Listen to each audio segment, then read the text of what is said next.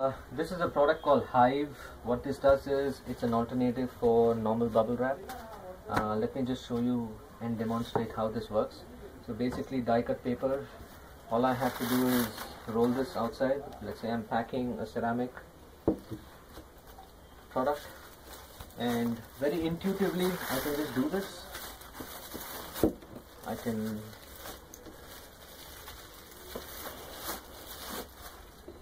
I have to tighten this knob so that if you see the difference so once I now pull it it just stretches. I can roll this up how much ever number of times that I want. Second good part about this is I don't need scissors. I can just cut this open.